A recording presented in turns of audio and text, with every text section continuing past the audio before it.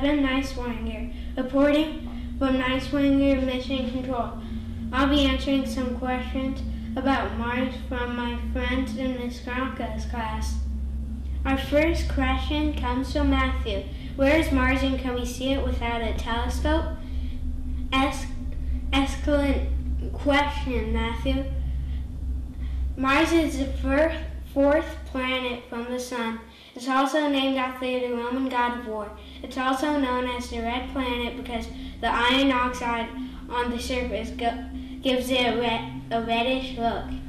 You can see Mars more easily during certain years and seasons. Mars has distinct orange and red, reddish color that varies in brightness. In 2023, it will be closest to Earth and more easily to see. Our next question comes from Preston. How big is Mars? Great question. Mars is the seventh largest planet.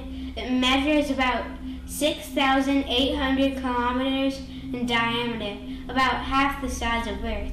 Here's a picture showing a comparison of Mars to Earth. Our next question comes from Stephen. Does Mars have any moons? Interesting question, Stephen. Mars has two moons named Phobos and Deimos. Here's a good question from Devin. Does Mars have any mountains? Yes, it does, Devin. In fact, the tallest mountain in the solar system. It's Olympus Mons, and it's located on Mars. Mars even has a volcano that some scientists believe to be active. Here's a great question from Cameron. Does Mars really have water?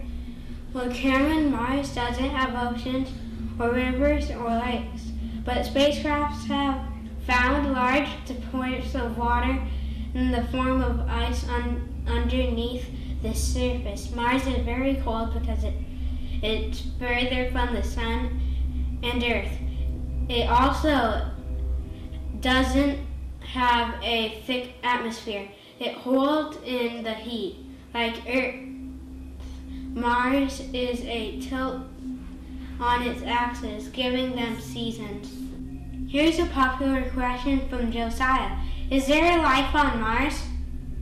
There is no factual evidence that there is or ever was life on Mars. We have sent two rovers which continue to send Im- images back to Earth. These images are pro- providing our scientists with valuable information about the atmosphere and terrain on Mars. Our last question comes from Ms. Karanka, my favorite third grade teacher. Dear Mission Control, how long would it take to get to Mars? And could we make a place where humans could live? Well, Miss Crockett, it would take nine months to get to Mars when it's closest to Earth, which is only every two years. As living three there, since Mars atmosphere is much different than Earth, you need special space suits to provide warmth and oxygen. Space suits that might look kind of like this. Pretty cool, huh? Someday, if space travel becomes more affordable, we may be able to build a Mars base. We would also need to warm the temperature on Mars by thickening the atmosphere. This would be cause the ice caps to melt, giving us a water supply. Thank you for your attention and interest in Mars. Have a great day.